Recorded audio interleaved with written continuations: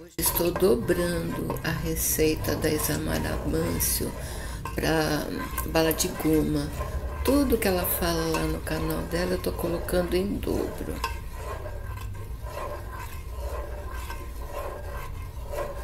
Será que vai dar certo? Com certeza, tenho fé que vai. Bom, vou ligar, vou colocar no forno, no fogo, colocar no fogo logo derrete o que falta derreter. Dobrei a receita, ó. Vou colocar na geladeira com saquinho plástico tampando. Eu não tenho tampa para isso. Vai o saco. Já deu ponto da balinha de cereja.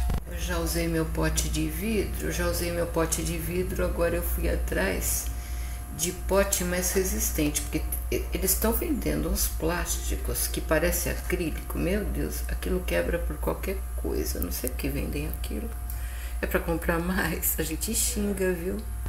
Eu só não faço mais porque eu tenho problema de achar plástico com uma constituição assim boa que aguente o calor.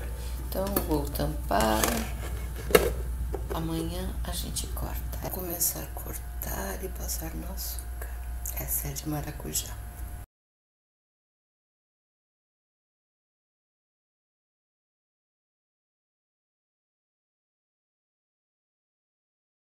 A primeira de maracujá já está pronta. Eu enxergo amarelinha, mas no vídeo está meio avermelhada, né?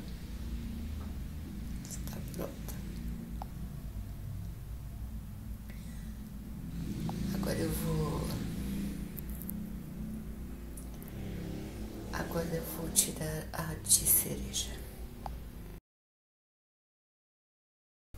Primeiro pote. Deu isso aqui, agora eu vou abrir essa daqui.